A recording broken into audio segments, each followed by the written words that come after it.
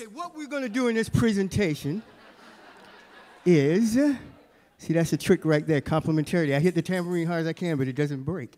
Um, we're going to talk about, you know, I'll say it when the tape starts rolling too, about uh, issues of phys physics, um, African cosmology, um, fractal geometry, and Gullah Geechee culture, insofar as um, syncopation and polyrhythms are concerned, and how those things in African American, Gullah Geechee African inspired culture kind of personify a lot of these ideas in fractal geometry and in quantum physics through their wider or broader cosmology. Okay, and I'm not going to go into it till I get to it. But um, this is what we'll be doing. And some of it, when we start the tape rolling, I'll need like response from you immediately. So we can't, because of the time on the tape, we can't have any shyness. So I would like you to, you know, give what you got when, we, when it's time. One of the first things I'll deal with is uh, some Gullah language. Um, we're going to be dealing with the idea of polyrhythm. And polyrhythm is just many different rhythms at the same time, going at the same time, like creating like a cosmos of uh, sound and vibratory energy, which is very fractal-like and very quantum physics-like because you got stuff happening and not happening at, at, the same time. When a body plays polyrhythm, like some of what I did on the drums and I'm just warming up, or with a stick or with a tambourine, you're playing many different rhythms. When you're playing, you're resting too. So if I'm playing here, And then, and then I use my voice or with my feet, of course. Now, there are places where I'm playing, resting with my voice, but playing with my hands, playing with my feet, resting with my feet, but it's all in the same body. It's all in the same context. So, what am I doing? Am I not playing or am I playing? Okay, this is the issue of complementarity in physics and also in African cosmology and culture. I don't want to give it away yet. but um, so, what I need you to do is when, when I ask you to participate, um, there are going to be times when I'm going to ask you to do some of the same things. When you use your voice, you use your hands. When you use your hands, you use your feet. Okay, so you're trying to create this gestalt or this kind of cosmos of, of activity, okay, that's going to be going on, and we're going to express ourselves through. Okay? So if I do a call and response with you and I say, one, two, three, four. Three, four. Exactly. Okay? If I go, ha, ha, ha, ha, ha. Ba, ba, da, ba, da, ba, da. Ba, da, dee, da, ba, boom, ba, dip. Okay, so you see, when I'm doing one, when I'm doing one, I'm doing the other. This is, this is like polyrhythm and syncopation, but it's also like complementarity. That too, like complementarity in, in physics, because you have stuff moving and not moving at the same time. You have the paradox. And this is what it's all about. And this is where it kind of clashes with, but also goes along with classic thought too. Okay? Uh, yeah, I can't give that away with the, clock roll. so first, before the clock rolls, I would like to say that uh, We're going to deal with polyrhythm, polyrhythm in English, but in Gullah, it would be polyrhythm. So what we're doing is becoming kind of the drum through our voice and through our bodies actually playing. We're, again, splitting it because we're the person thing at the same time. We're the thinking drum. We're the talking drum, but we're not the implement. We're actually the physically thinking and talking drum because now we turn our bodies into it. So when you say polyrhythm, if you could say polyrhythm, can you say rhythm? rhythm. So hit me with the d- rhythm. Rhythm. Rhythm. So polyrhythm, polyrhythm. Not bad. Polyrhythm, polyrhythm. Very good. Try this phrase. Many different rhythms at the same time. Not bad. I'm impressed. Try it again. So you want to hit. This is driving me crazy. so you want to say, when you hit it, hit it. Many different rhythms at the same time. Many different rhythms at the same time. So do a clap or a stomp or something along with it. Try it with me one time and try to do your own thing. So many different rhythms at the same time. Many different rhythms at the same time. Many different rhythms at the same time. Many different rhythms at the same time. different rhythms at the same time. Many different rhythms at the same time. Many different rhythms at the same time. Not bad. Give yourself a hand. Not bad. Not bad. Not bad. So, when we get into it, we'll really get into that. And I got some other bags of tricks that I'll throw out too. Um, one is, and this is when I say no shyness, it will be improvisation, which means that, you know, I'll throw out a lick to you and you'll throw back. But when you throw back, like you want to throw back a little bit different. So if I throw out and call and response, bow, shabing, bang, boogity, boom, bow. Bow, shabing, bang, boogity, boom, bow. Biggity, biggity, bum, biggity, biggity, bum, bum, bum, biggity, biggity, bum. Biggity, biggity, bum, bum, biggity, biggity, bum, biggity, biggity. Ba,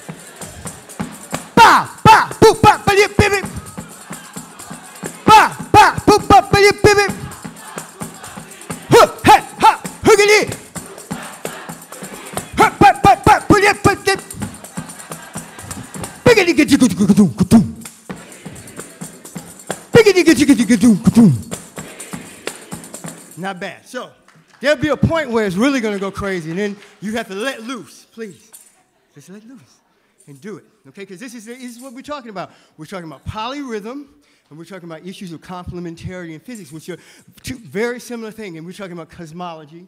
And in African cosmology, African American Gullah Geechee cosmology too, there's like a weird waiver cross between past, present, and future, spirit and life. Okay? And you're going to be surprised in a talk who actually speaks to that at one point, who says something about that. You're like, okay. Um, so, where we at time? Nobody's telling me? No, there's a specific like start time. They have to. Five more minutes? Okay. So I'm just going to break, let y'all think about that a little bit.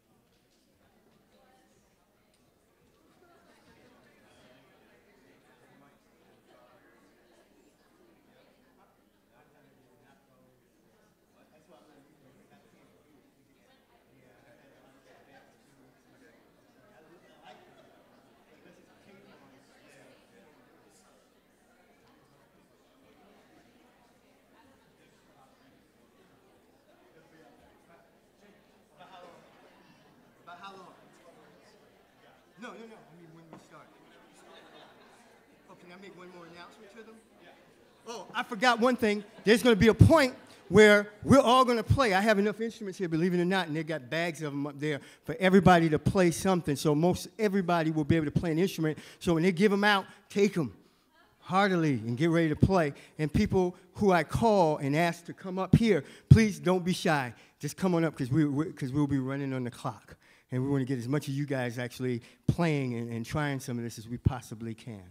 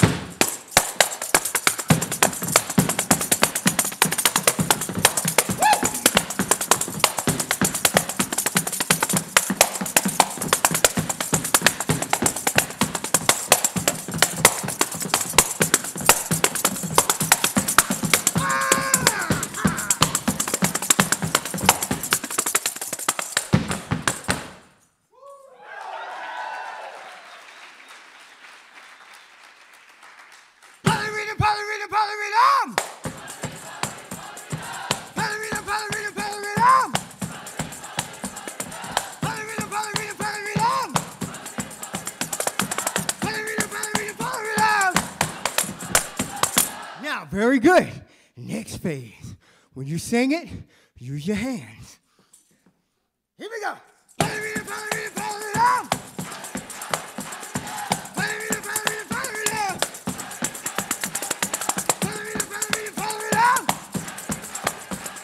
Excellent. Next now, use your voice, your hands, and your feet.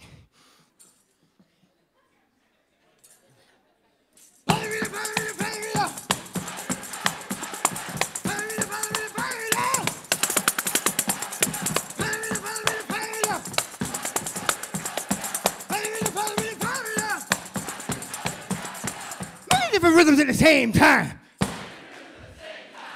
different rhythms at the same time. Many different rhythms at the same time.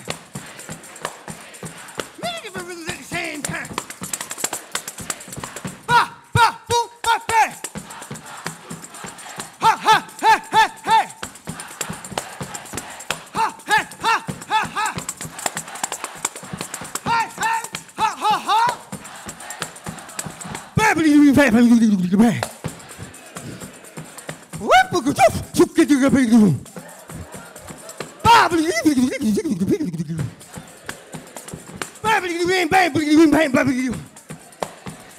What? What? What? What? What? Ha ha ha ha ha! Woo! Ha ha ha!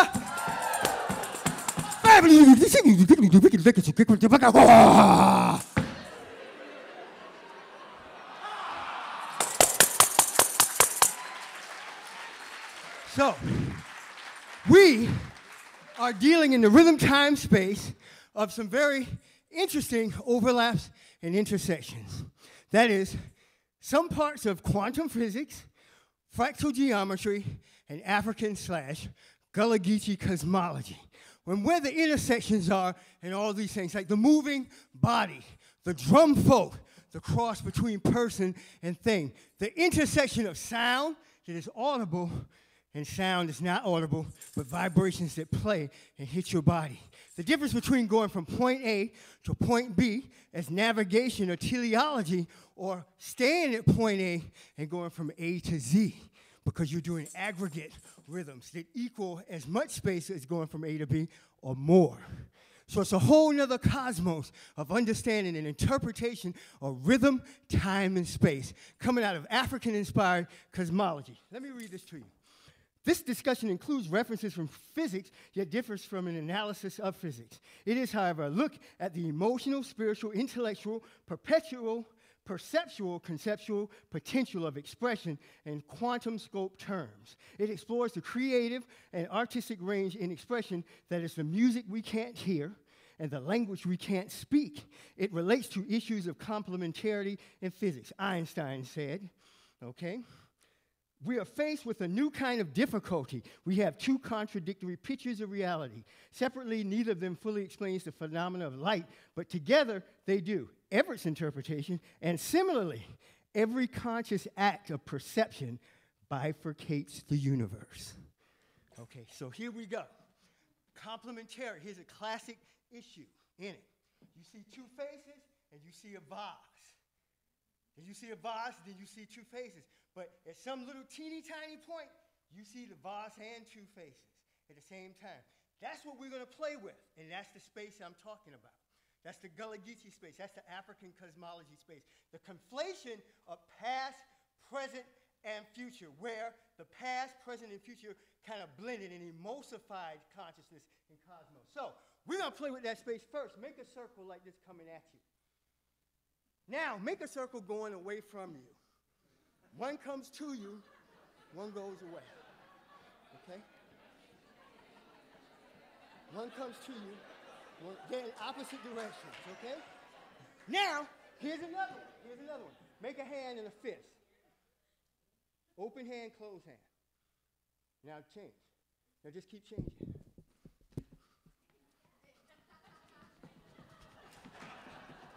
Okay?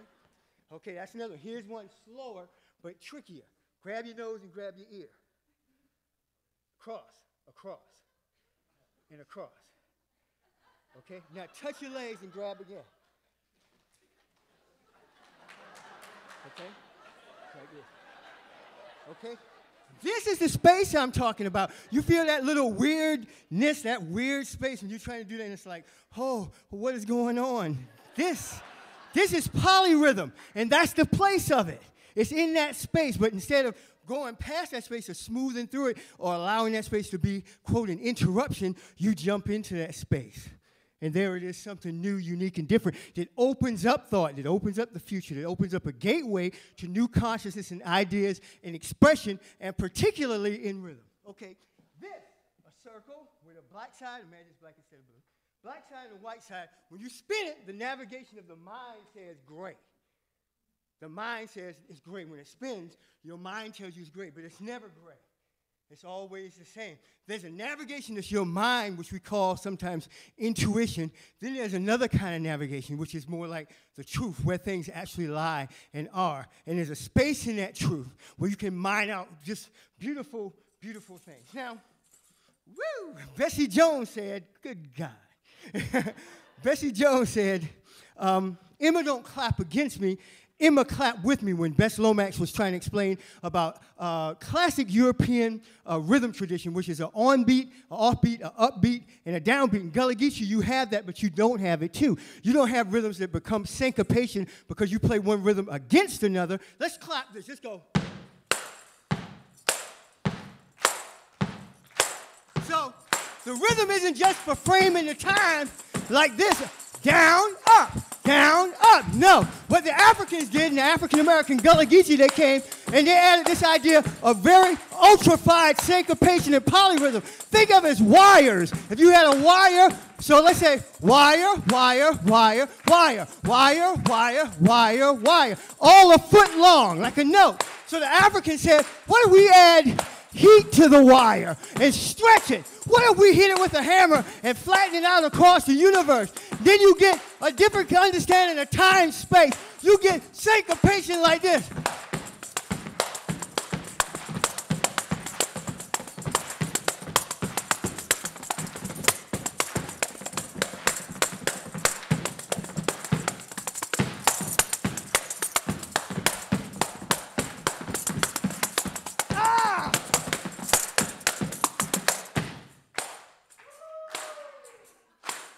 Understand? You understand? So that you can stop. So the very nature of rhythm and time space has changed. It's desolidified and fluidized. So there's a whole nother sense of it.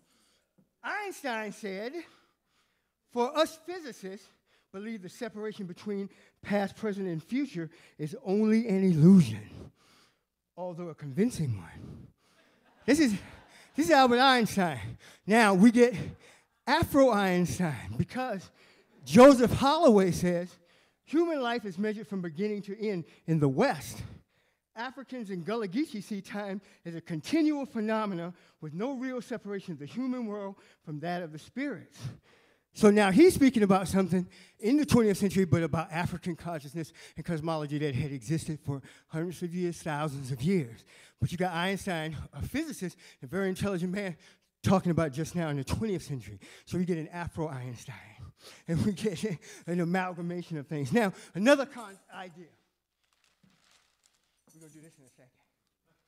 This is the idea of the Cantor set and fractal geometry.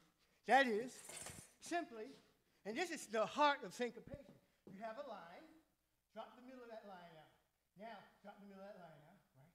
Now, drop the middle of that line. It goes forever and it never stops it increases exponentially to forever, like two fish and two loaves with Jesus. It keeps coming back. Forever. It's a classic Cantor set. Okay? So it's the idea of having this kind of geometry that's asymmetrical and is more like nature that exists. Let's do that again. Syncopation. Just say, syncopation. Say, syncopation. What? Say what? What? What you say? Something.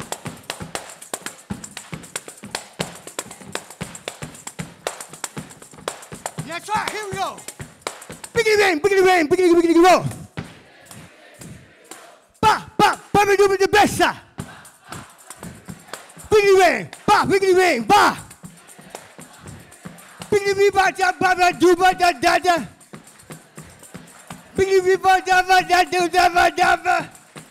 Now you see what I'm doing? I'm playing one time, but I'm in a whole nother time space.